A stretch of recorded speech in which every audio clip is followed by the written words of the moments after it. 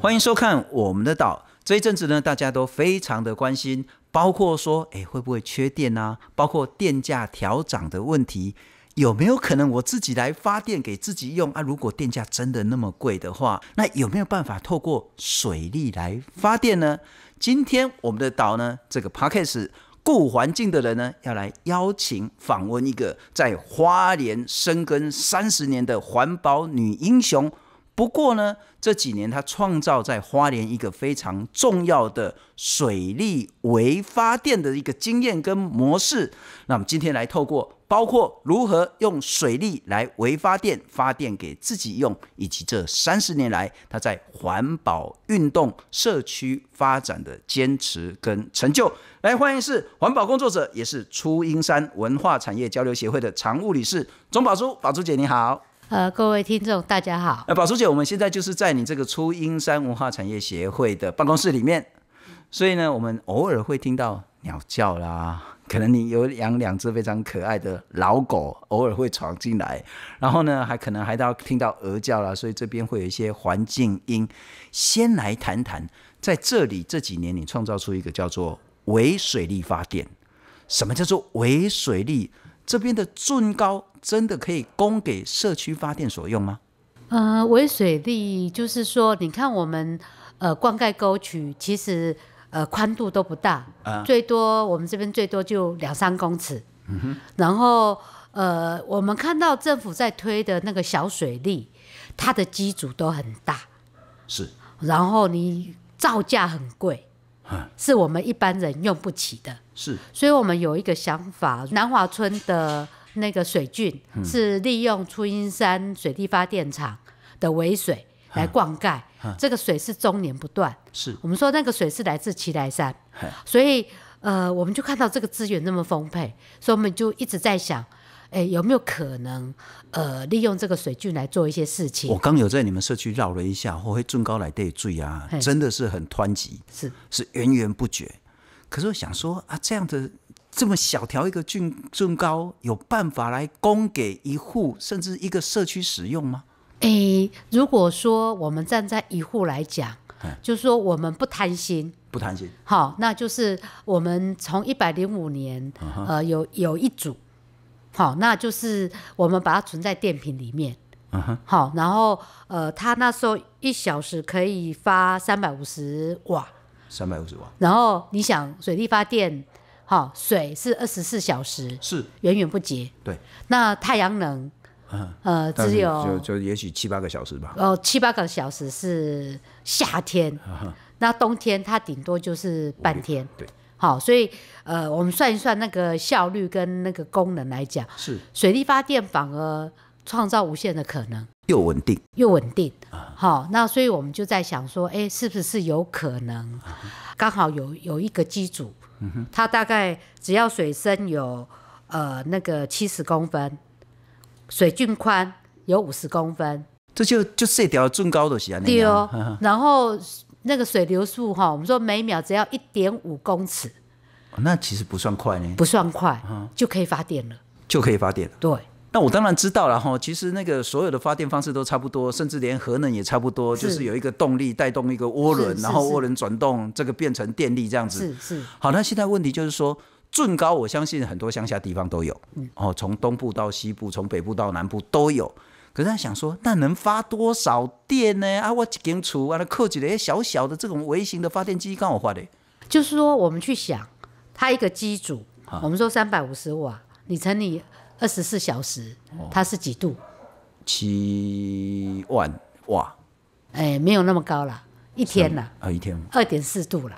好，二点四度。一天二点四度。一一个机组。一天一个机组二点四度。那如果我有两个机组，那就是五度。对，一个家庭差不多可以，而而且就是我们存在电瓶，白天大家上班回来，晚上对开灯的时候看电视，对，还有我充电，开电扇，嗯，是不是就可以用了？是。如果我们每个人或每户都可以有一百瓦行动，嗯，那我们说节能减碳这件事情，每个人都有贡献。哎，那我如果说在你们这个郡沟啊，放两个微型，其实那个应该也很简单，很简单，啊，就把坑在最最最中的啊。哎，其实也不用放在那个水中间，嗯，你旁边也可以。我们我们那个两三公尺的，就有一个上面一个架子，放两座或三座，对不对？然后每隔十公尺。是这个，你看看啊，你一个郡沟，也许是如果我们随便讲哈，两百公尺、三百公尺，你可以放好几百个。对，所以那个发电量不容小觑。两个我就可以供给我晚上，因为你们这边又很凉嘛，对所以应该不用吹冷气，是吹电风扇，然后看电视，点电灯，就绰绰有余了。对对，都不用花钱跟台电买了。是，哎，这个很可行哦。对，可以有两个部分了，一个是公部门嫌这个维水力。效能不高，因为他们一直拼命在要谈业绩，他看不上眼。对他认为二零五零近零碳排这件事情，这个微水利，好看不上眼，效能太小了。可是我们说蚂蚁雄兵，好每个家庭如果都省个五度，都有绿能，是，那我我们全台湾。有多可以减减少多少？我一个家庭一天省五度，对，我一百万个家庭，对，那就是五百万度，对，对不对？不得了哎，不得了！嘿，我所以我们就说，像这个小兵可以立大功，所以我们就想说，我们当一个示范，是，所以我们在一百零五年是有一个机组，所以我就是呃那个我笔电充电吹电扇开个灯。我就很满足了。哎，啊，所以说，如果那个水力发电在运转的时候，我们现在环境这边通通都不是用台电的电脑。对。哎呦，这很可行哦。对啊，我们这里呃，去年有跟荒野合作，因为我们这个是铁皮屋，哦，所以你有太太阳能板，所以我们就有太水的计划，太阳能结合为水利。那因为为什么会结合太阳能？是我们在推太阳能，我们现在反对的是农地种电，是我们应该是住宅型，是像这种铁皮屋顶来加设太阳能面板就很好。降温，铁皮屋你很热，所以你应该要开冷气。对，那我就用太阳能发电。对，然后我吹冷气。我们现在社区很奢侈啊，因为吹冷气不用钱。我看整个南华可能你们这一间吹冷气最开心。对对，然后就是把它当电扇用。OK，只要只要是呃，像前几天，嗯，那个天气很好，热。然后我们发电量很高的时候，我就开冷气呀。哎，这有点炫富了。是 是是，我们在开机啊，结果你讲我我的你掏我呢。我们是炫绿能啊，炫绿能。哎，我们是炫绿能，太水了。不过我们这阵子一直谈到绿能可能发展一些困境，然后包括不管是陆域或是离岸风机，可能会对生态啊环境造成一些影响，对居民那点哦哦哦，那个声音其实也很吵。那更别谈光电跟农地抢地这件事情，水力发电。特别是微水力发电，有办法创造出一个更好的绿能模式吗？我觉得，如果政府愿意朝这样的方向去思考，我觉得是有可能的。因为大型的小水利哈，动辄都要超过五百万，是甚至到一千万、几千万，那其实是一般家庭或社区不可能的，不可能的嘛。那我们微水利的造价不高，超瓦这？呃，我们之前那一组几万块就。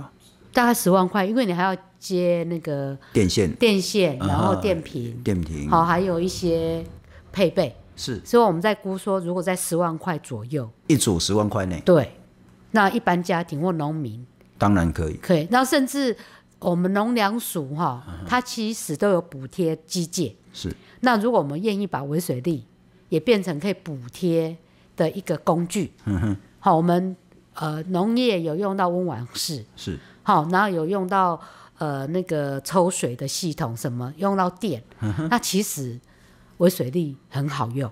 你就用水圳沟里面的水来去抽水，对，哎，然后温网是用到灯，所以它如果政府愿意补贴。然后其实农民负担就没有那么大。不过我们想的都其实都是理所当然，然后但是务实来讲，其实全台湾就是南华这个社区微水力发电做的是比较成功的。嗯，很多地方都会遇到很大的阻力。嗯，不外乎呢，就是说啊，最高是权力是谁的？嗯嗯嗯。照理来讲，这应该是农田水利会的。嗯。哦，因为当时那个整个水利系统灌溉设施都是他们盖的嘛，哈。所以你可不可以一般人就说我要放一个微水利的发电设施在那边来用电，来来造福我？第二个是说，如果这个土地是公家的，那很可能就是国有财产署的。那你如果要跟国有财产署申请说我要在圳高里面放一个水利发电机，我看政府可能都会那个打好几个问号。我我们刚好碰到这个问题。嘿。我们就是为了架设那个微水利发电，过去是农田水利会是属于私人的，他说农业部啊，对，现哦现在郡沟我们这个郡沟哈，我我为了协调土地取得的问题，刚开始呃，因为它这个土地是国产属的，好，我们一直以为这个灌牌是属于农水署的，唔西，它有可能有私有地。哦，有有农水署的，也有国产署的。了解。所以呢，我要先取得用地土地使用同意书啊。可是国产署呢，他也不对个人。我当初有问说，我们用初音山协会的名义是要跟你申请用地取得，他们回复很抱歉，我不对个人，我不对私人。他认为我你是协会，那是个人。他把协会当做企业，他是机关对机关。了解了解了解，所以这个用地取得上面，后来我们就跟农水署这边花莲管理处做协调。我们当初以为透过呃农村水保署，嗯，可以来协助我们，结果因为他们也没有土地管理权，所以他就协助我们去跟农水署谈。后来才知道，那农水署这里去把半补拨，哦，就是把那个那个进入的那个管理权土地拨给。农水署，好，那他就可以同意。所以我们现在会碰到这样的问题，所以我们只能先用示范计划的方式了解假设。我这样理解了哈，就是说，第一个，政府其实真的严重忽略掉这一种百万雄兵水利为发电这个的重要性，跟可能改变我们的能源困境的这个可能性。第二个，我觉得政府有一个非常大的迷失。他说：“如果我公部门、公家的资源拿来给你个人或者是地方协会使用的话，会不会有图利的问题？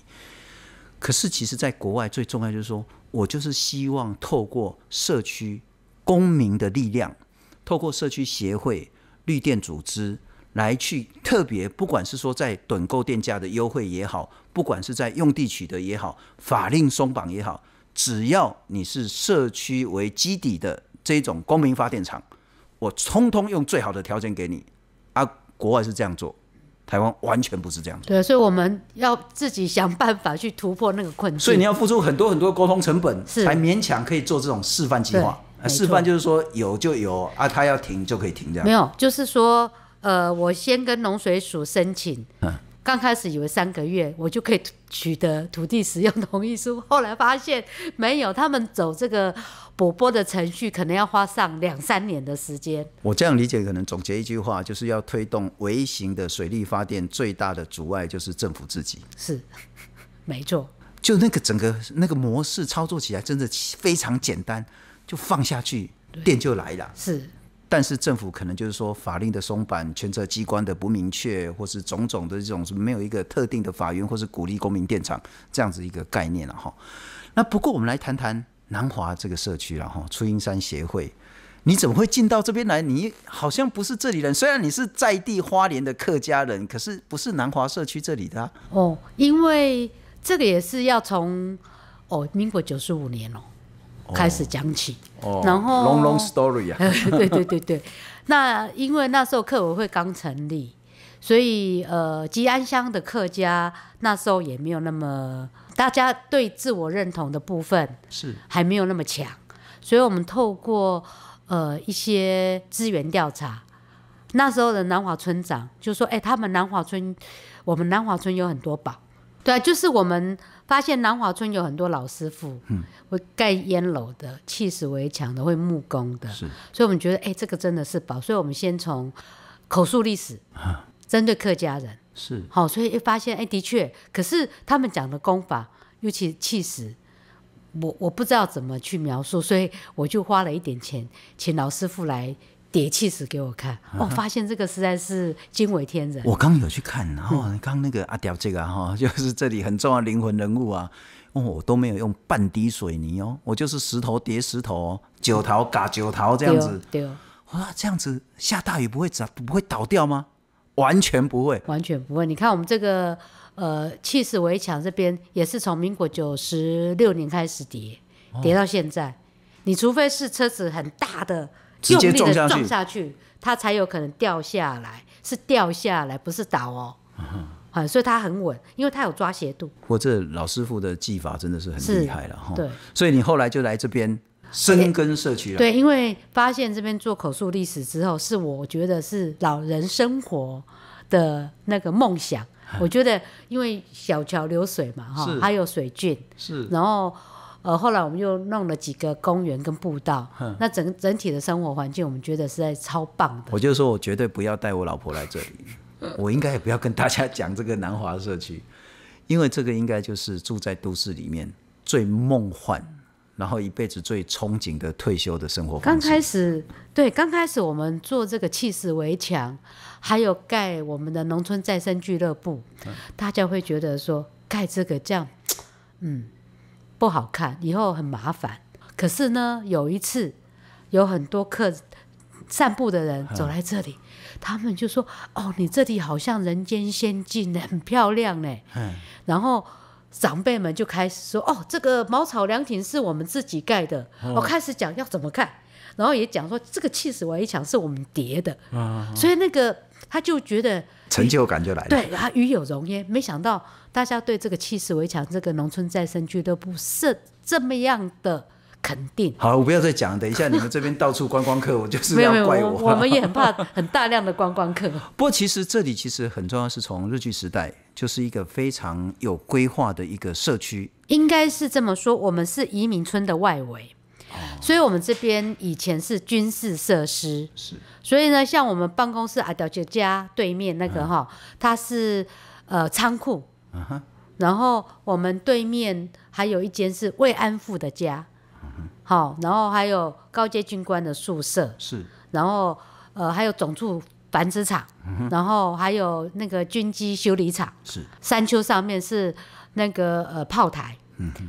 所以我们是移民中外，所以我们这边以前是军事设施，人比较少，是，好是大概是日本人来之前会有几户人家住，哦，我那时候还不理解说为什么那个轰炸要轰炸这里，因为老人家说他们那时候美军轰炸，他们要跑到富里亲戚家躲，后来经过口述历史之后。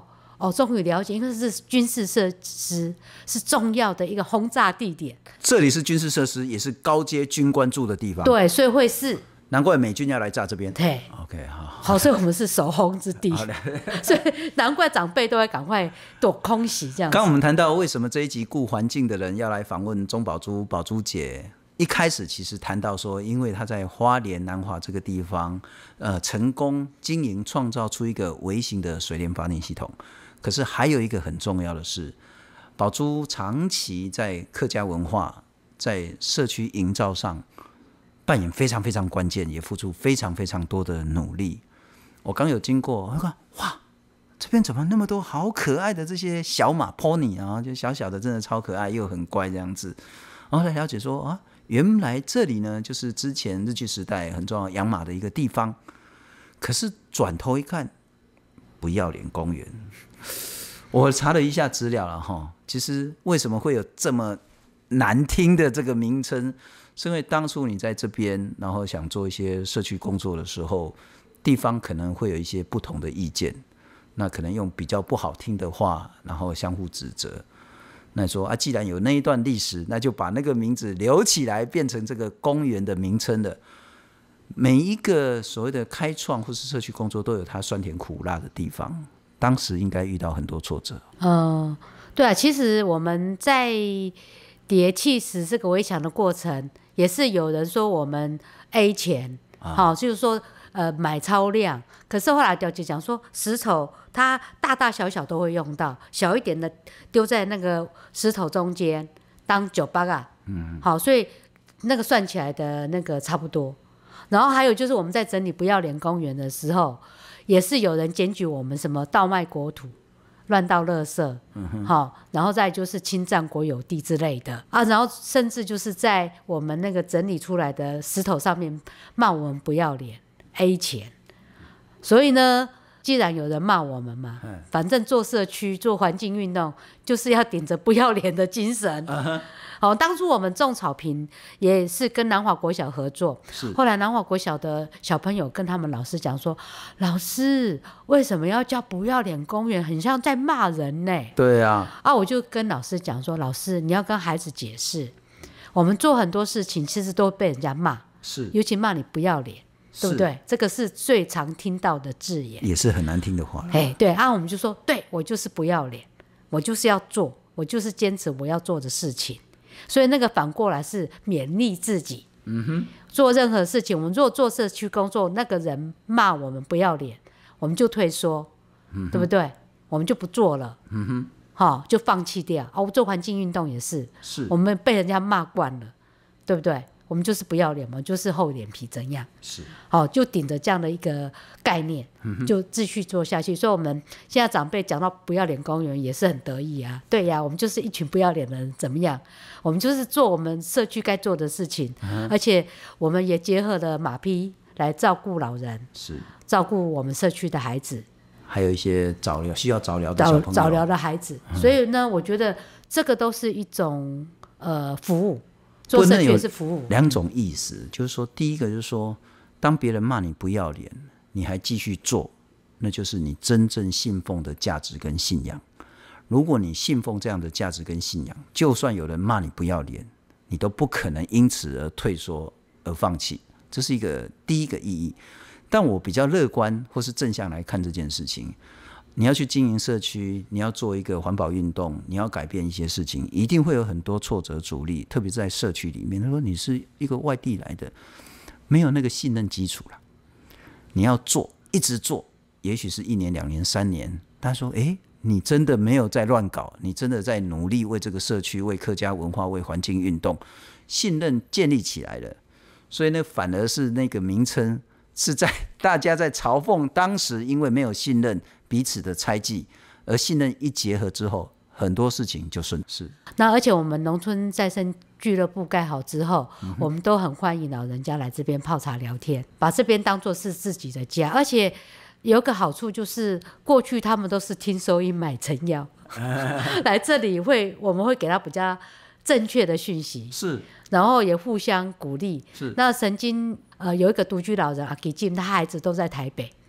他以前真的就是在家里很无聊，听收音机就去买药，听到了哦，那个药好像不错，我有这个症状我就去买。哎，所以你这个社区除了做环境，除了做绿电，还做长照呢？对对对，所以我们现在有绿色照顾，而且你们也有共餐嘛？哈，有我我我们共餐是呃很高兴自己煮，我们没有跟政政府拿经费。哦，是这样子哦。是啊，不然我靠龙工哎，一餐三十块二十块这样不不不不不，我们就是有绿色菜园。哦，附近长辈有空的田地，是，我们就来买一些，就自己种了，自己吃。OK，啊，然后呃，左右邻舍自己有多的菜也拿出来供应，是，所以我们就是煮的很高兴。哎，不过宝珠你其实一辈子似乎有很大的转弯或者是斜杠。我所知道，你好像最早最早最早的时候是当陶艺老师，对，阿里本来被嘎切，对，本来是想当老师的，嗯，到学校里面。后来呢，是因为所谓的在有一个产业东移计划了哈，那个时候想说在西部这些高污染产业，干脆移来我们台湾的后山。其实我很不喜欢用后山这个概念，好像所有的垃圾都可以丢过来。所以你那时候就毅然决然的投入反水泥产业东移来污染花莲这个运动。后来呢，包括焚化炉事件啊，包括像最近之前的苏花改事件等等，苏花膏也是了哈。这一辈子怎么会改变这么多呢？嗯，我我觉得可能是以前呃上台北都要坐火车，每次经过河中、河仁是，还有雅雅尼、台尼三藏，你就会看到很多矿区，就觉得实在是心蛮痛的。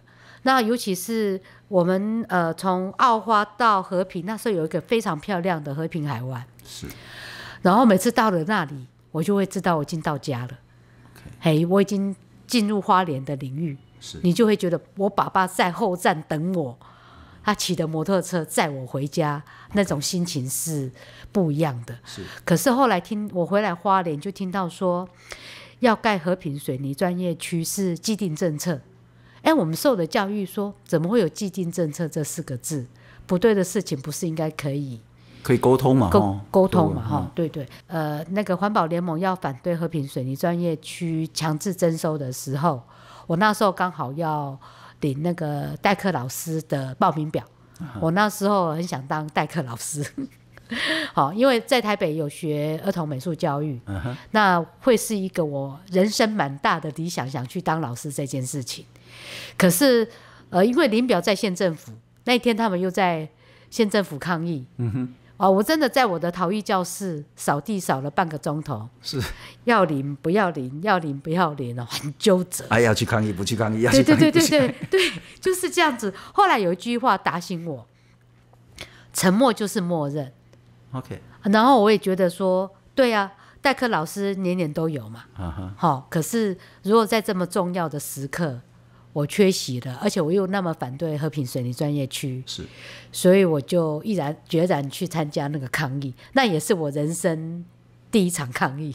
了解，那就改变了你这三十年的整个。对，那就是因为一直在调，一直在呃，因为也要做政策研究嘛，你就会发现这实在有一些不合理、不公平的地方。那原住民要为什么要失去土地？那为什么整个和平那个矿区要？东移到花莲，因为我们发现那时候不只是和平水泥专业区，是东海岸山脉粘土矿也要挖。那如果说我们赞成这个，整个花莲就惨了。嗯哼，那时候还有沙沙石专业区，是，所以整个洞真的是像就像新聪讲的，西部不要的垃圾全部要来，而且是矿区，矿区一旦设立，那就惨了。是，所以我为什么会那么拼命用力的去反对？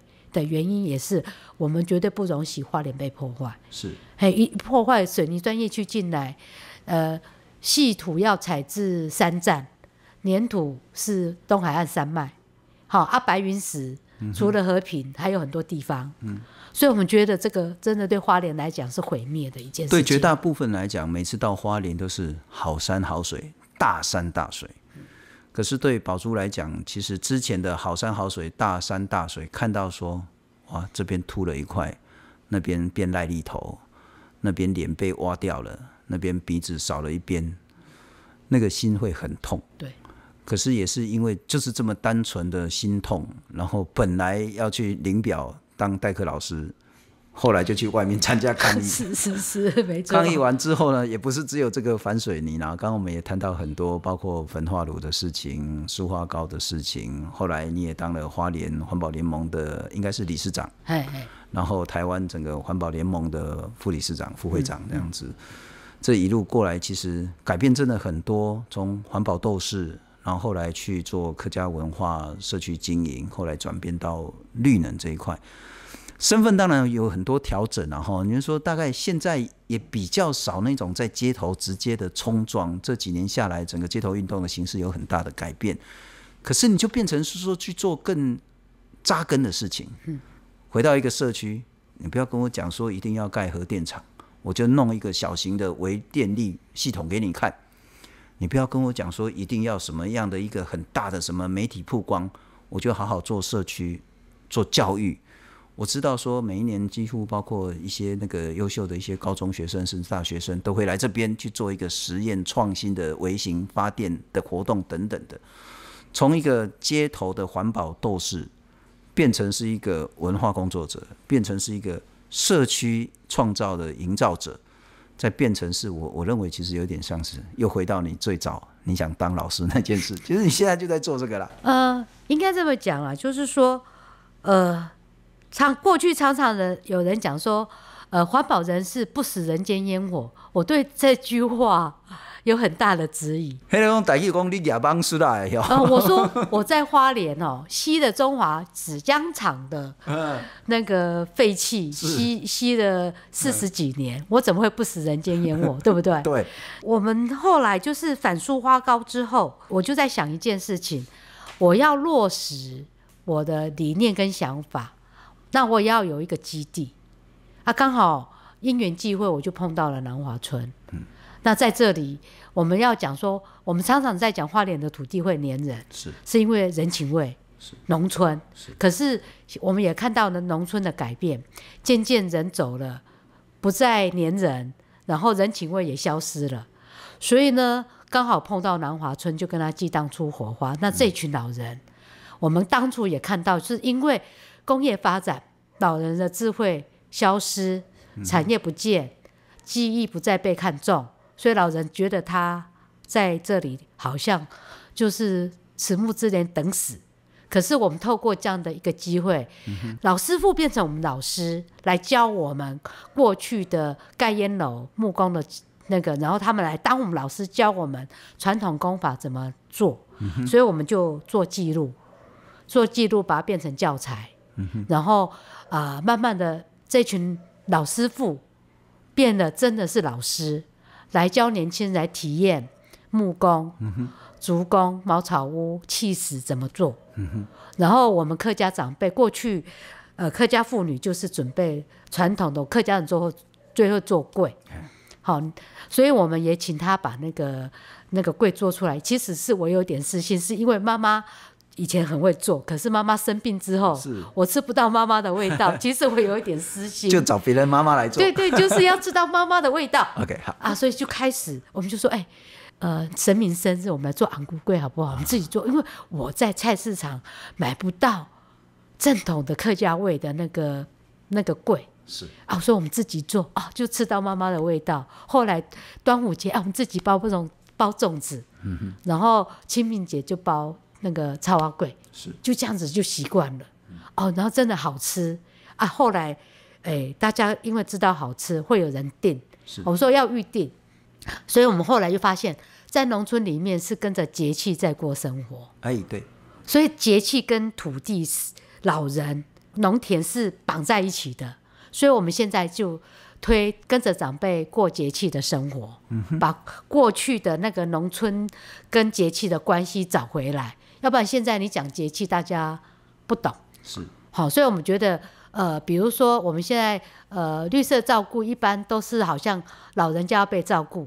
我们的课程却是让长辈来当老师，嗯哼，把那个节气的概念教我们，是。什么时候种什么菜，这个菜什么时候收成，多的我们就来腌制，是客家妇女就开始教我们腌制，是好当老师来教我们这个课程，因为这个技艺也快要失传了。没错，没错。不过我真的建议了哈，期待你们如果说南华这边有这么多厉害的老师傅，其实我觉得不只是所谓的工艺工匠。包括怎么让那个腌制的酱菜啦，或者是利用做鬼啦，那个技艺都要传承下去。那特别是那个阿刁这个怎么气死啊？那个一定要把他那个宝全部都挖起来记录下来。有有有，我们有记录。哦，那个都要九桃嘎九桃，就可以有一个很漂亮石头围墙。我们在不要脸公园，现在现在也开辟。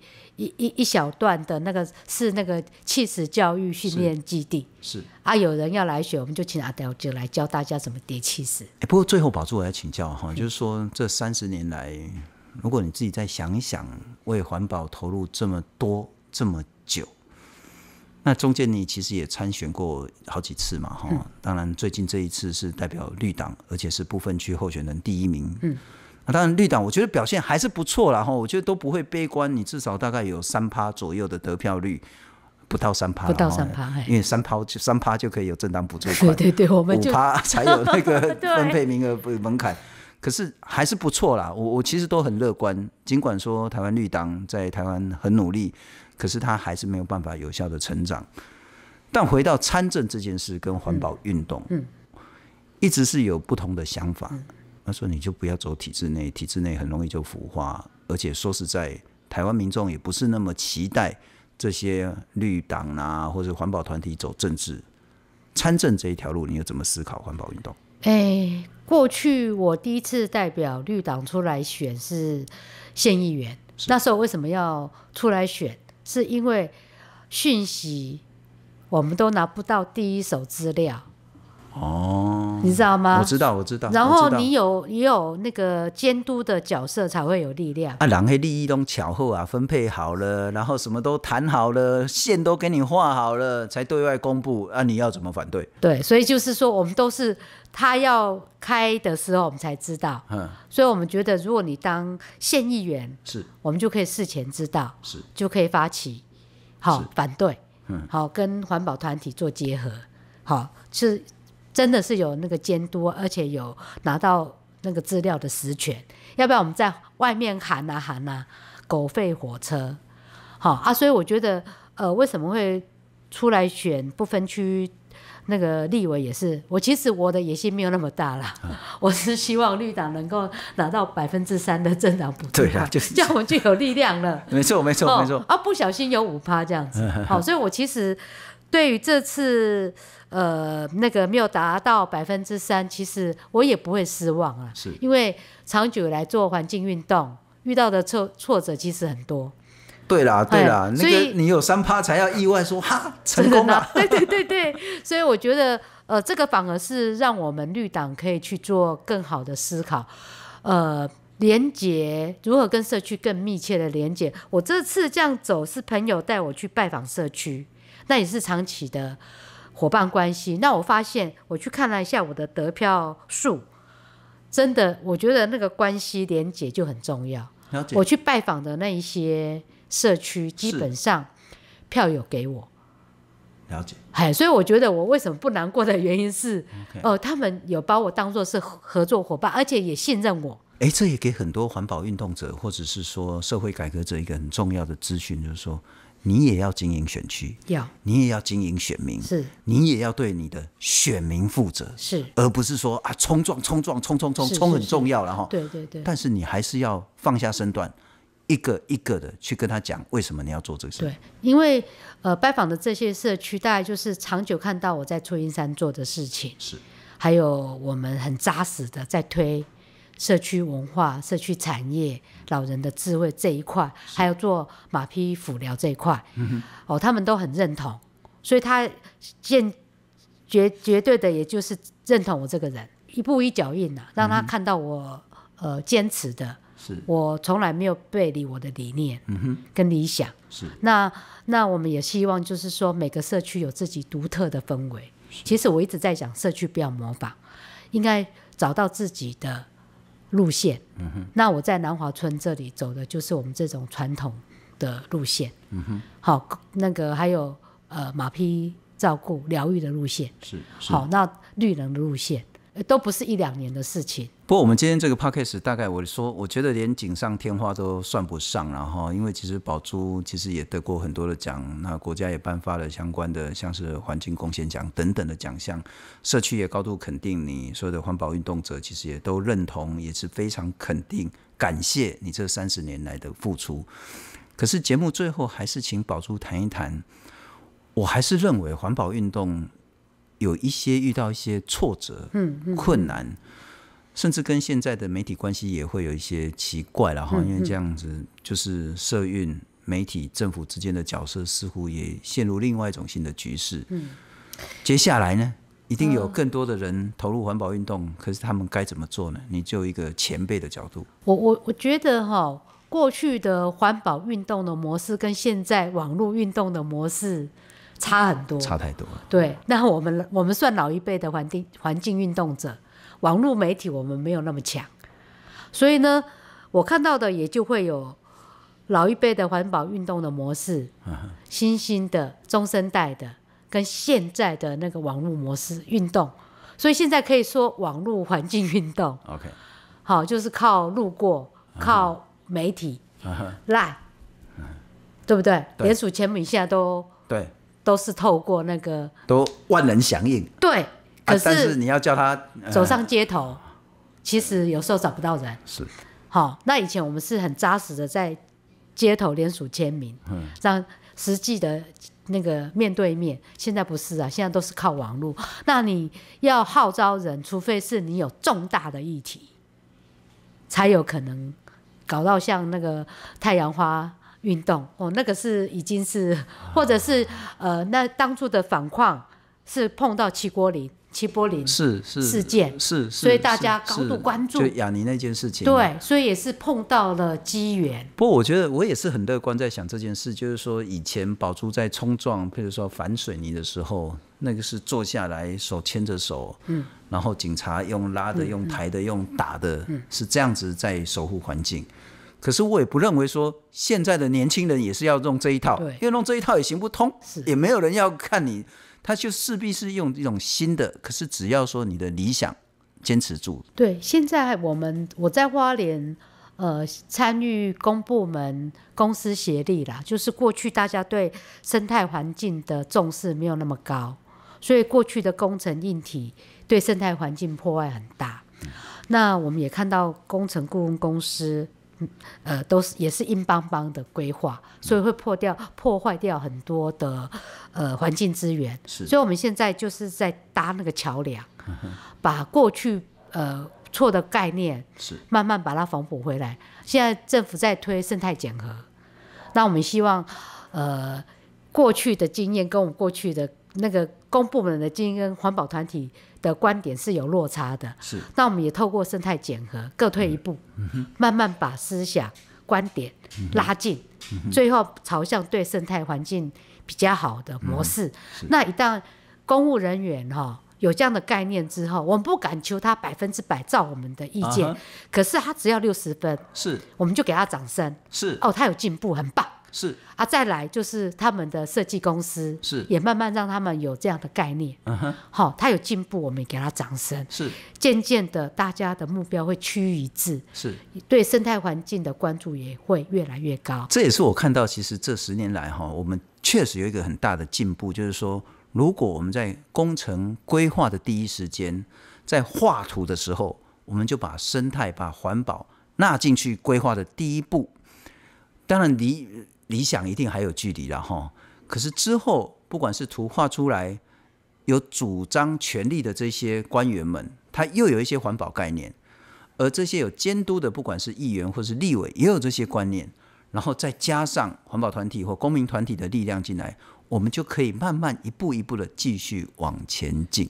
对，所以就是说，呃，这部分呃也是观念的磨合。是那。呃，上次有一次在那个林务局花莲分署这边有一个蛮有趣的经验，就是过去那个委员他们都是工关注工程设计稳不稳，好尖不尖，然后会不会被水冲坏。对对。后来因为有生态减核，是，然后我们就提出我们的想法，我们说这个是自然溪流，嗯，你做了那么你用三面光，对，然后那个那个这样的设计。恐怕会影响。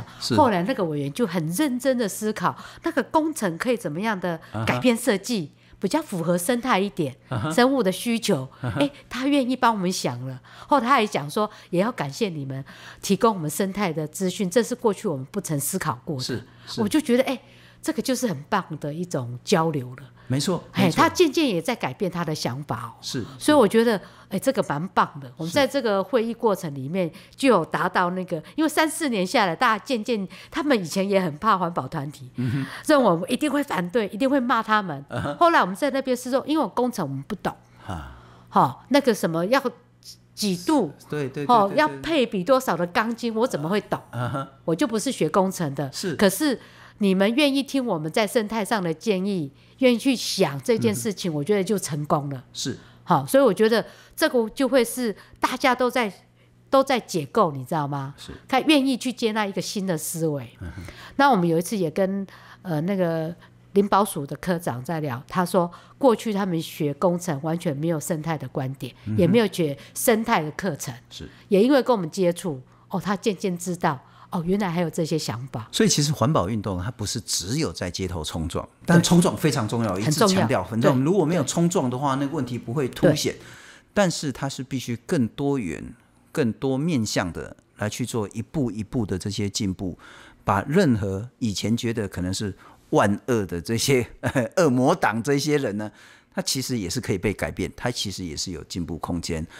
顾环境的人呢，其实这个系列我们是希望透过在台湾从北到南，从西到东，有非常非常多的人，他的一辈子为台湾的环境、土地、生态付出努力，做出贡献，让大家知道。也思考我们接下来如何让环境可以更加的永续。这一集非常感谢，我们现在呢是叫做东台湾的这个环保斗士，同时最重要是在初音山文化产业交流协会开创出一个非常关键的微水力发电的一个模式——中宝珠。非常谢谢宝珠姐。如果你喜欢这样的节目呢，也别忘了要五星按赞、订阅、分享，让更多人知道。谢谢宝珠。好，谢谢各位听众。